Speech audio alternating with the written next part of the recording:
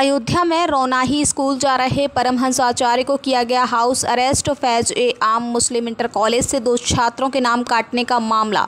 जिला विद्यालय निरीक्षक ने विद्यालय पहुंचकर की मामले की जाँच। जिला विद्यालय निरीक्षक राजेंद्र पांडे का बयान। बच्चों के बीच धार्मिक चर्चा के बाद बच्चों में हुआ था विवाद। स्कूल प्रबंधक ने त्वरित कार्रवाई करते हुए दोनों बच्चों को किया था निष्कासित। स्कूल का माहौल हो रहा था खराब। एक छात्र मानवेंद्र सिंह ने दोबारा नाम लिखाया। दूसरे छात्र सौरभ यादव ने नाम लिखाने से किया इनकार। जिला विद्यालय निरीक्षक की अपील। इस मामले को धार्मिकता से न देखें। केवल बच्चों में हुआ विवाद है। के रौनाही में एक मुस्लिम के द्वारा बनाया गया विद्यालय, जिसमें मुगल आक्रांताओं की प्रशंसा की जा रही थी। उसमें दो देशभक्त बच्चे थे। उनको अच्छा नहीं लगा ना प्रताप की चर्चा करने लगे तो उनको विद्यालय से निष्कासित कर दिया गया।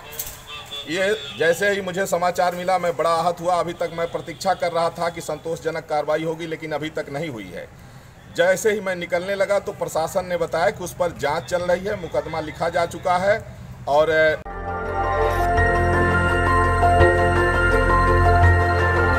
देखते रहिए डीबी भारती समाचार। नज़र हर खबर पर।